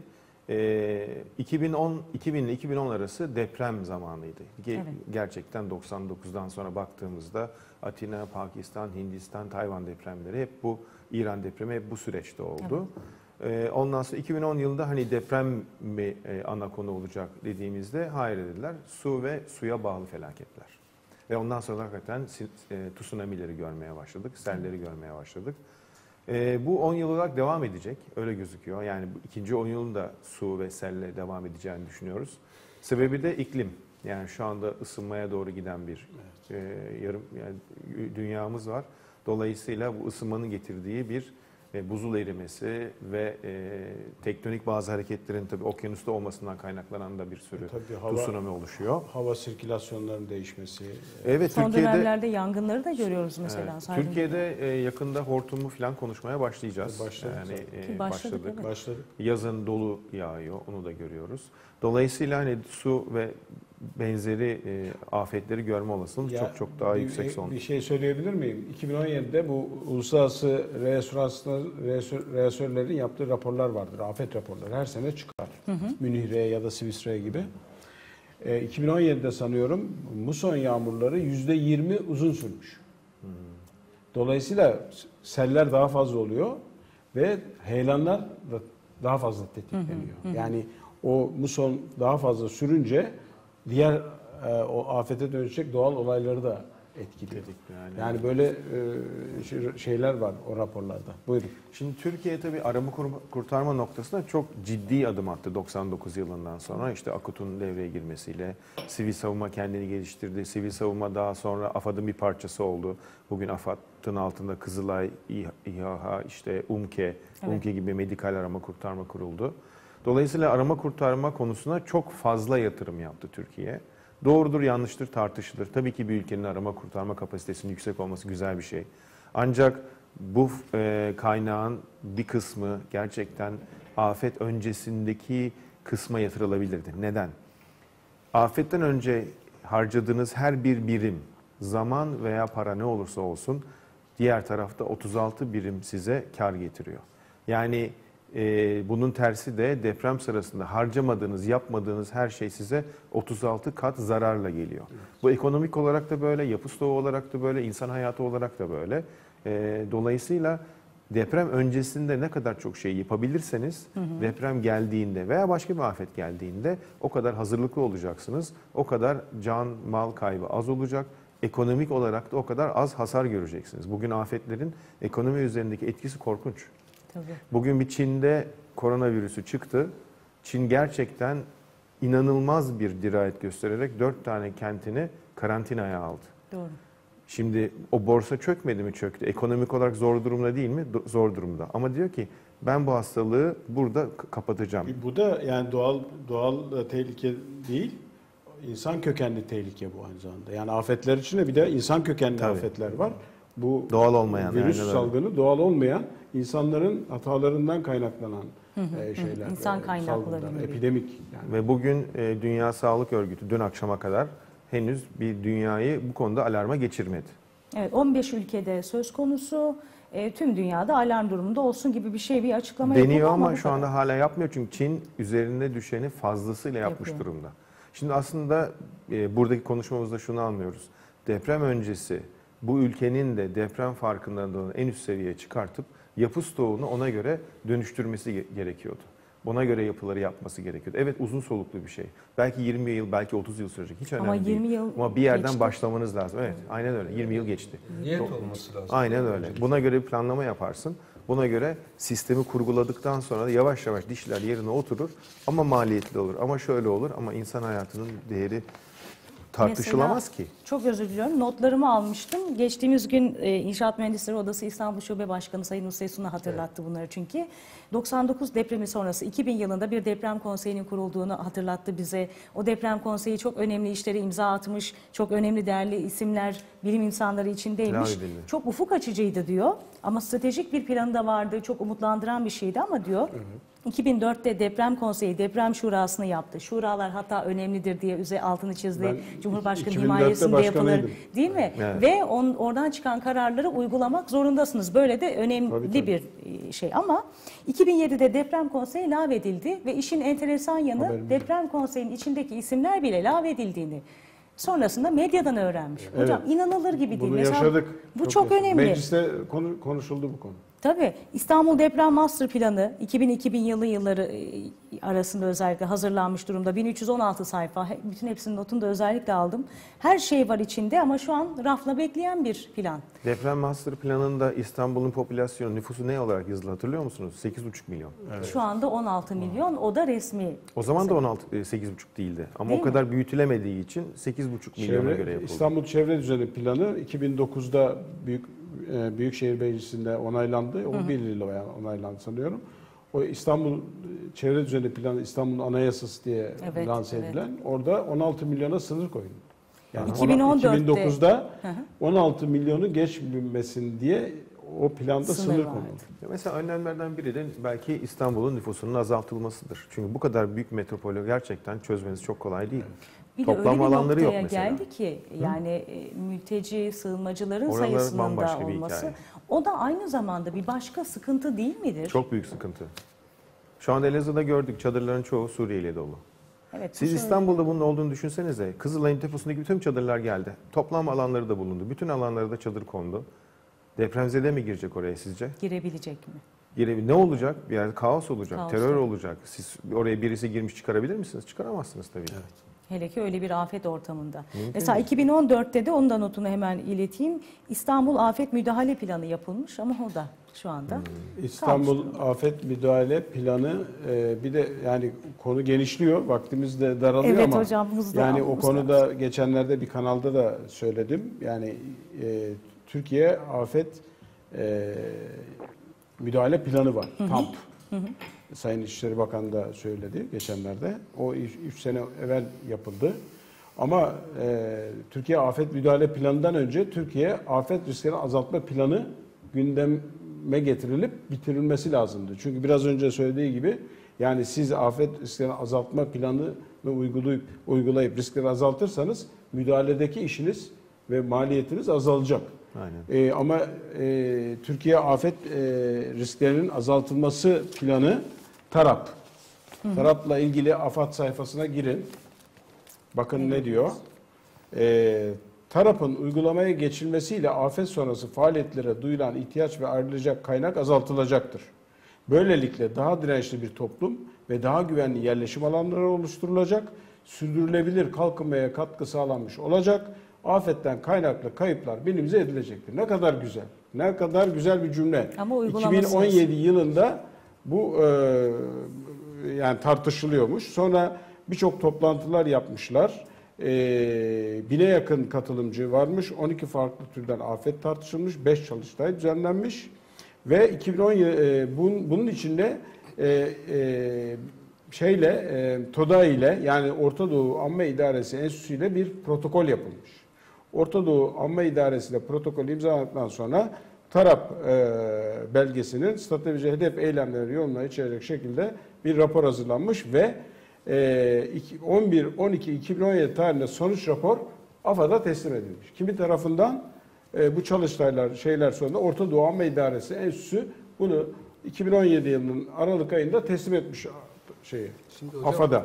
yapmış onları Ha, ama güzel. rafa kaldırmış. Ama şimdi bakın burada ilginç bir şey olmuş. Yapmış da ne sonra, olmuş? e, sonra ne olmuş biliyor musunuz? E, bir haber var. 16 Temmuz 2018'de e, Orta Doğu Amme İdaresi Enstitüsü 703 sayılı kanun hükmünde kararname ile kapatıldı. Öğrencilere hacı öğrencilere hacı bayrama devredildi. Bütün mal varlığı ve bütün şeyde öğretim üyeleri varmış. Onlar da başka yerlere dağıtılmış. E, yani bu e, Cumhurbaşkanlığı hükümet sistemine geçtik ya. Bu 703 sayılı kanun hükmüne kapatıldı. Şimdi e, böyle bir yazı var şeyde. Yani 2018 diyor ki AFAD 2018 yılında belge tamamlanacak olup yani bu e, Türkiye Afet Risk Azaltma Planı taraf e, belgenin genel çerçevesi çizilerek belirlenen afet türleri için detay çalışmalara hız kazanacaktır. 2018 yıl 2020. Tarafı duydunuz mu? Hayır. Ha, İstanbul'da deprem risklerini azaltacaklarmış 7,5 depreme göre de acaba tarafı mı uygulayacaklar ama taraf yok. O da Hocam yok. sorun zaten şöyle.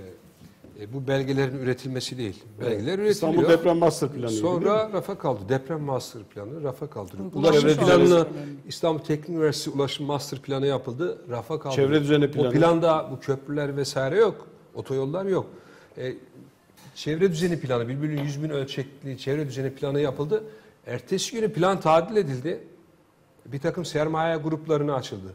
E, ve rafa kaldırıldı. Çünkü tercihler şu. Küresel sermaye ile yerli işbirlikçi sermaye kent topraklarını ranta dönüşme konusunda anlaştılar ve işbirliği yapıyorlar. E, Bütün hikaye budur. Onun için burada yazılanların hiçbir anlamı yoktur. Bu temel politikalar bütün yaşamımızı ve kentsel geleceğimizi değiştirmektedir, dönüştürmektedir, etkilemektedir. Şimdi böyle baktığımızda örneğin e, büyük altyapı projeleri e, sadece hükümetin kararı mıdır? İşte gündemde olan Kanal İstanbul projesinin bir ABD projesi olduğunu, ABD patentli, hatta ABD hegemonya projesi, çevre felaketi projesi olduğunu biliyoruz. Ama bu gündeme getiriliyoruz. Bakın konumuz neydi? Kentlerin risklerinin azaltılması ve bundan sonraki kentleşme süreçlerinde afet risklerinin sıfırlanması, minimize edilmesiydi. E, Kanal İstanbul, daha pek çok projeler var. Yeni Kapı'ya, Maltepe'ye dolgu alanları yapıldı. Deprem sırasında bu dolgu alanları ne olacak?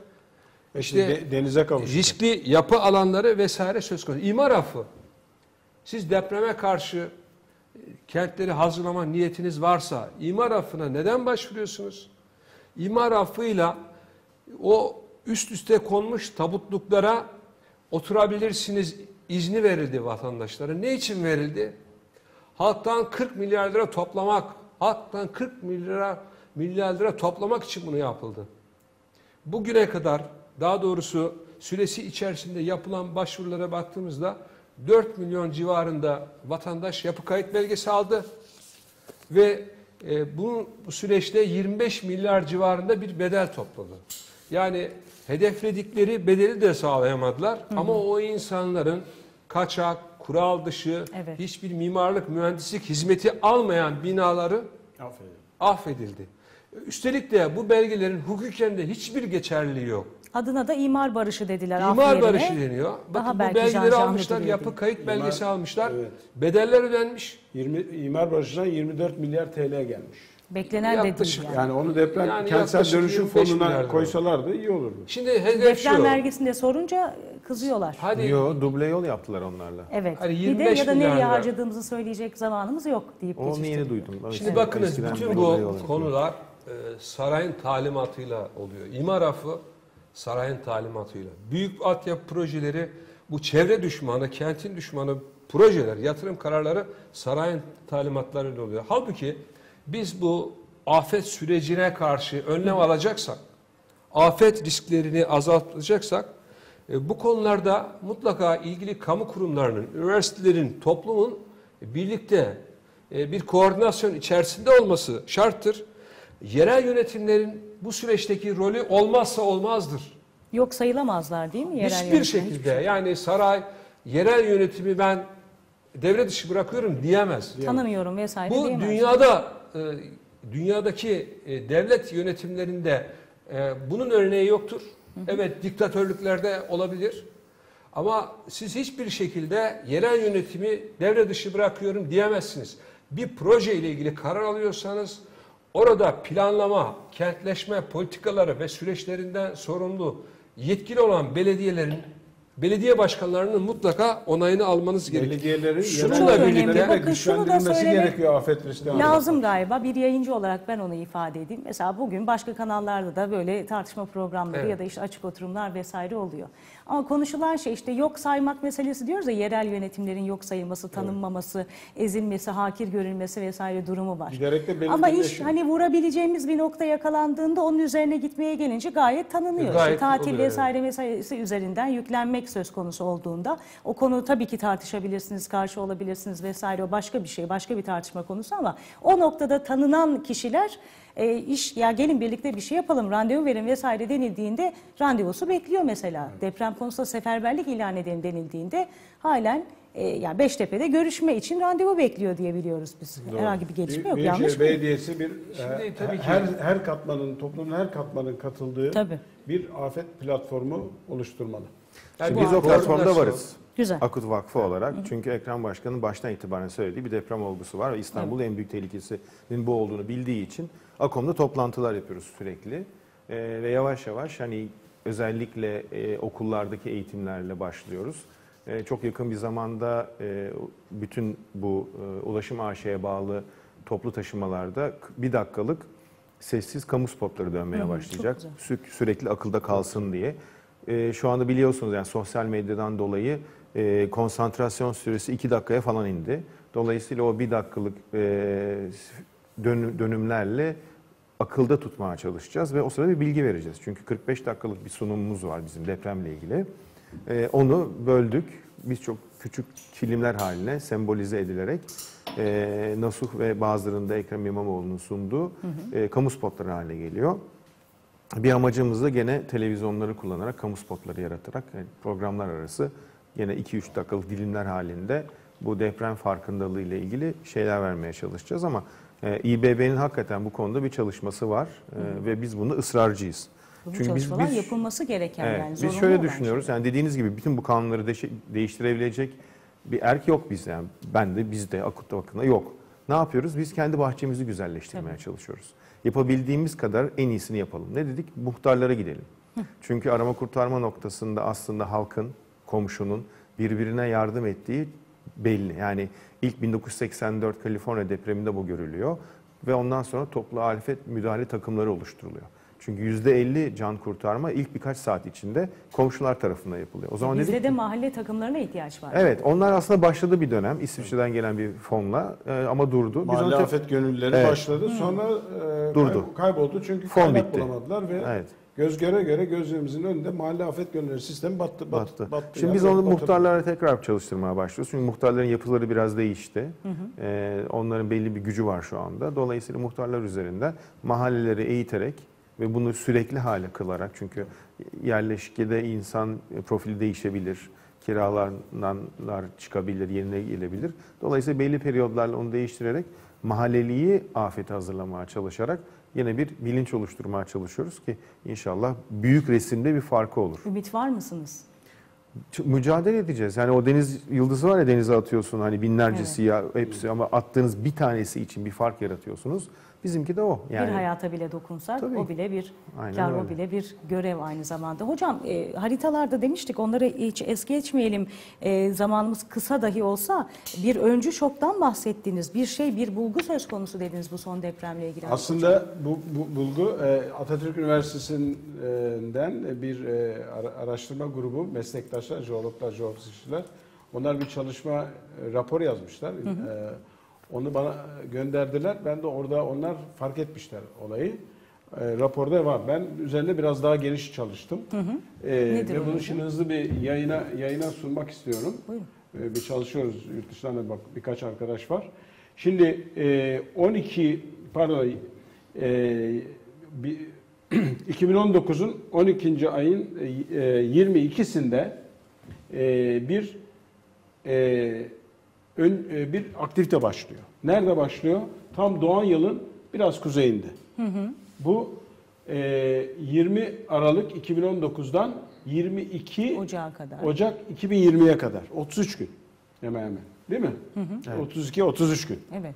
33 gün önce 4.9'da şurada yeşil gördüğünüz yeşil 4.9'da başlayan bir faaliyet var. Deprem faaliyeti. Aa, bu öncü deprem dediğimiz olay aslında. Evet.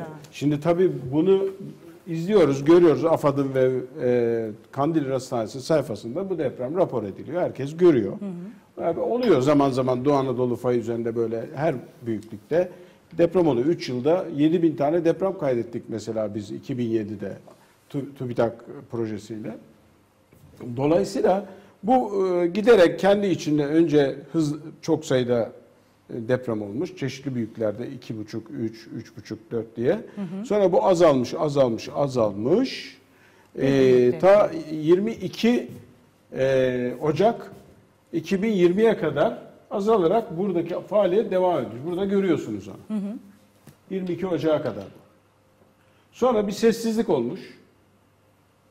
Ardından Ve da 24 Ocak'ta 6,8 6.8 ve onun artış depremleri dolayısıyla bu hale gelmiş. bu deprem gerçekleştikten burada- sonra burada- fark edilen bir şey mi hocam? E, genellikle e, öncü şoklar, öncü depremler ki özellikle Kaliforniya'da e, bu çok e, üzerinde durulan, çalışılan bir konu. E, bunları tanımaya çalışıyorlar. Yani her o kuvvetli büyük depremden sonra önceki aylara bakıyorlar. Acaba e, orada bir şey olmuş mu diye. Eğer biriken çok sayıda veriyle ileride biz bir e, şey tanı tanıma yapabilirsek yapay zeka ile ya da diğer jeolojik, sismolojik, jeofizik yöntemlerle o zaman e, ki birçok depremde böyle e, öncü şoklar olduğunu ama biz bunları normal bölgenin genel depremselliği içinde normal karşıladığımız ama sonradan fark ettiğimizi e, söylüyorlar. Ama bu konu çok akademik ve çok yeni. E, yapılan akademik çalışmalar var. Bu konu ileride gelişecek. Peki- Dolayısıyla böyle bir şeyi de yaşamışız biz. Tamam. Bu 4.9 me- mesela buradaki kırılmanın bir şekilde başladığını e, ve sonra sakinleşerek arkasından burada 6.8'in e, bakın burası da Doğan Yol. Yani şu mor, bu yeşil. Bütün görselleri böyle birkaç dakikada nasıl yaparız hocam bilmiyorum ama şöyle iki dakikada diğerlerini de toparlayabilir miyiz acaba? E, Diğer ne ilginç vardı? olanlar. Bir de e, mikro depremlerden mikro bahsetmiştik. depremler var. Biraz önce bahsettim. Evet. Doğu Anadolu fayı nedir? Doğu Anadolu fayı 3 yılda 7000 deprem yaratan bir faydır.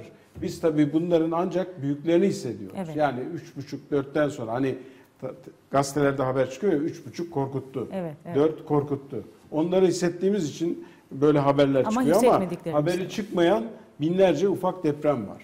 Onlar oluyor. İşte olduğu zaman da karşımıza çıkan manzara bu. Burası Karlova.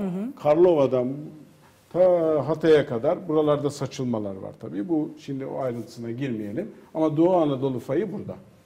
Mikro depremler Dolayısıyla mikro depremler bize, küçük depremlerin incelenmesi e, bize e, oradaki deprem tehlikesi hakkında e, bir ve oradaki kırılmaların özellikleri hakkında çok ayrıntılı bilgiler veriyor. Biz meslek hayatımızda giderdik. Bunlar deprem istasyonları kura- kurarız ve e, bunları inceleriz, makale yazarız, rapor yazarız ve bölgeyi deprem, bölgenin deprem karakterisini e, anlamak için Bir de deprem tehlike haritamız var. Evet, Onu deprem tehlike haritamız yeni bir harita. Ee, ilk ilk geldiğimde Evet, burada buyurun. göstermişti. Ee, deprem tehlike haritamız e, 1 Ocak 2019'a kadar deprem tehlike haritamız bir taneydi. Artık Eski yönetmeliğe bağlı olarak. Ee, bir çalışma yapıldı. AFAD'ın organize ettiği ve Türkiye Deprem Tehlike Haritası ve Yönetmeliği yenilendi ve 1 Ocak 2019'dan itibaren devreye girdi. Artık 1 Ocak 2019'dan itibaren yapılan tüm yüksek yapılar yönetmelikli yapacak. Evet. Ondan öncekileri bilemem. Evet. Rivayet muhtelif. Ee, oradan artık tartışma olur Tabii. olmaz bilemem. Ama bu şimdi 12 tane deprem tehlike haritamız var. birden 12'ye. Bir yapı koşullarına göre, e, projenin özelliklerine göre e, birçok birçok değişkene bağlı olarak, birçok koşula bağlı olarak e, e, haritanın seçimi değişiyor. Yani inşaat mühendisi yapısını tasarlarken yapının ve diğer bütün e, inşaatla ilgili parametrelere bağlı olarak ze- zemin özelliklerine bağlı olarak farklı haritalar kullanacak. 12 tane var. Yani Onlardan baraj yaparken farklı harita kullanacaksınız. İşte ne bileyim e, otoyol yaparken, köprü Farklı. yaparken, konut yaparken, okul yaparken bunlara bağlı olarak. Dolayısıyla bundan 12 tane var e, şu anda. E, umuyoruz ki bütün bu çabalar ve bu bilimsel çabalar, e, üniversitelerimizin, uzmanlarımızın ürettiği bu bilgiler e, biraz önce tartıştığımız e, planlı, güvenli yerleşimleri ve güvenli binaları üretir. Evet inşallah Ama öyle olur. e, işte Türkiye Oda Borsa Birliği'nin e, inşaatla ilgili sözcüsünün işaret ettiği sorunları çözmemiz lazım. E, bu da hükümetlerin ve siyasetçilerin işi. Kesinlikle. E, ilgili yasa ve yönetmeliklerin günden, güncellenmesi lazım. Afet politikaları e, dahil. Peki. Çok teşekkür ederim Haluk Hocam. Sağ olun. Hızlı da bir özet olmuş oldu. Son 4 dakikanın, Son 2 söz dakikasını buyursunlar. söylemek isterim. Peki. Şimdi e, kurulan otokratik rejim, bu otoriter rejim, yetkilerin sarayda toplanması, afetlere karşı hazırlanmanın önünde en büyük engeldir. Saray yasalarıyla, saray kanun hükmünde kararnameleriyle, cumhurbaşkanlığı kararnameleriyle, torba yasalarla afetlere karşı biz hazırlanamayız. Neyle hazırlanabiliriz? İşte bütün bu kurumların birlikte çalışması ilave yerel yönetimlerin yetkilerinin artırılması gerekir. Yerel yönetimlerin afet çalışmaları içerisinde etkin bir şekilde yer almaları, yetki ve sorumlulukların artırılmalarını söyledik. Yapı envanterlerinin çıkarılması yerel yönetimlerin asli görevidir. Bunu tavsamamalıdır. Geçen süre içerisinde 21 yıl içerisinde bu tavsanmıştır. Artık tavsanmamalıdır. Yine afet risklerinin azaltılması yerel yönetimlerinin çalışma alanıdır konusudur. Bununla birlikte toplumun katılımının organize edilmesi, bu sürece dahil edilmesi, deprem bilinci, afet bilincinin geliştirilmesi konusunda yerel yönetimlere de önemli görevler düşmektedir. Bugünkü otokratik rejimin olduğu koşullarda yerel yönetimin görevi, etkinliği daha da önemli olmuştur. Son olarak doğa aslında kendi işleyişini, doğal seyrini gerçekleştirmektedir. Doğa olaylarının afete dönüştürmesi, dönüşmesi e, yönetimlerin ve bu sürecin ürünüdür. Ama biz şunu biliyoruz, şunu biliyoruz. Doğa yasaları sarayın yasalarını tanımaz. Doğa yasaları önünde hiçbir engel tanımaz. O nedenle biz doğaya saygı duyacağız. Onunla uyum içinde ve bir arada yaşamak durumundayız. İlla ki bunu yapmak zorundayız. Bunu Başka seçenek biz yok. afetle baş edemeyiz. Peki. Ee, Saydun Bey o zaman e, son sözü alacağım ama artı bir de vatandaş ne yapmalı? Bize ne önerirsiniz? Nelere dikkat edelim? Ne yapalım? Afetlere hazırlıklı olabilmek. Özellikle depreme hazırlıklı olabilmek için. Hadi onu da sığdıralım. buraya. Şimdi tabii e, bir sürü bilimsel çalışma var, bir sürü kanun, kural var. Ama tabii bunların e, hayata geçmediğini halkımız da biliyor.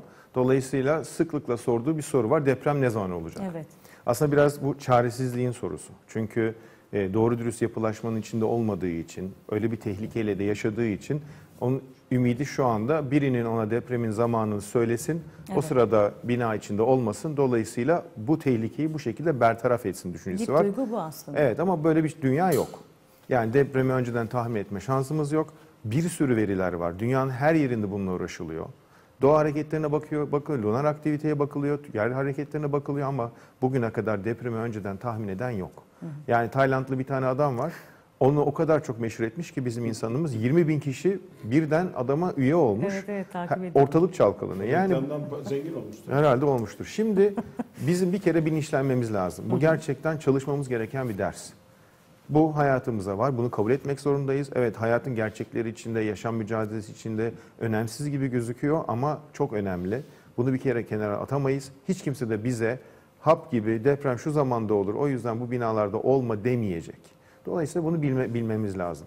Binamız doğru düzgün değilse oradan çıkmaya çalışacağız. Daha düzgün bir yerde yaşamaya çalışacağız. Depremde çünkü bina yıkılmazsa yapılacak önlemler var. Yapılırsa yapılacak önlemler var. Yapılmayan binada yapısal olmayan hasarlar dediğimiz eşyaların yıkılması var. Dolayısıyla eşya sabitleyeceksiniz. Senaryo çalışacaksınız. Yani evde deprem olduğu zaman evin evden çıkmayacaksınız. Evde kendinize güvenli bir bölge bulacaksınız. Ola ki yıkıldı, yaşam üçgeni yaratacak yerler olacak bunlar. Yıkılmadı, nerede buluşacaksınız? Siz iştesiniz, çocuğunuz okulda, öbürü evde. O zaman ortak bir alan bulacaksınız. Tabii, telefonla ulaşamazsınız bir- birbirinize. Evet. Bu, telefon konusunda da şehir dışında birini bulun. Evet. Birbirinizi aramayın. Bir kişiyi allocate edin. Deyin ki bu arkadaşı arıyoruz, bu akrabamı arıyorum. Onda bütün bilgiyi toplayın. Herkes onu arasın. Ve bir toplanma alanı belirleyin. Toplanma alanında bir, binlerce insan olacak. Senaryonuz olması lazım. Deprem olduğunda ben bunu çözerim diye bir dünya yok. Yok. Evet. Proaktif olacaksın. Önceden dersini çalışacaksın. Ve toplanma alanını, iletişim sürecini, evde, işte, neredeysen orada ne yapacağını önceden bileceksin. Olduğu zaman uygulayacaksın. Ancak Peki. bu şekilde hayatta kalabiliriz. Bunlar daha uzun süre konuşulacak meseleler. Bütün hepsi ayrı ayrı. Çok teşekkür ediyorum Ben bu teşekkür programda ederim. bana bize katkıda bulunduğunuz için ve elbette ki izleyicilerimizin de bilinçlerinin daha da artması konusunda yardımcı olduğunuz için e, korkmak değil, proaktif olmak, soğukkanlı olmak, bilmek önemli bu anlamda. Saydın Gökşin, e, Gökşin Akut Vakfı ikinci başkanı. Çok teşekkür ediyoruz. Eyüp Muhçe efendim e, Mimarlar Odası Genel Başkanı bizimle birlikteydi. Sağ olunuz geldiğiniz için çok Ben teşekkürler teşekkür ve Profesör Doktor Halike Eydoğan hocam çok teşekkürler verdiğiniz bilgiler için. Ee, izleyicilerimize teşekkür ediyoruz bizimle oldukları için. Konu zor olabilir. Kaçtığınız, izlemek istemediğiniz şeyler olabilir. Ama yok kaçmayın, takip edin. Ee, bilinçlenmek önemli. Her şey böyle başlıyor. Tekrar görüşmek dileğiyle. İyi haberlerle inşallah. Hoşçakalın.